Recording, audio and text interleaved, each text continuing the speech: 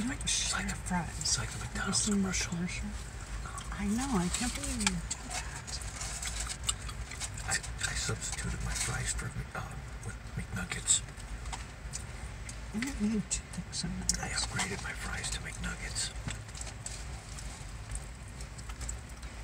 Oh, It was a downgrade. Hmm, possibly.